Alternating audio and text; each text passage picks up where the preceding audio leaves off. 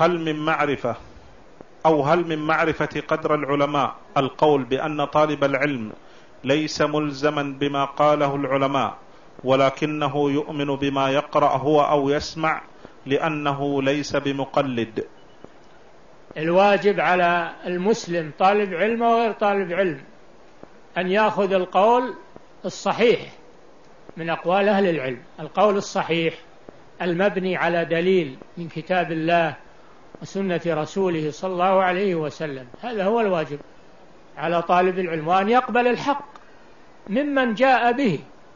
ما هو ما يأخذ إلا ما يعرف هو أو ما يجتهد فيه هو.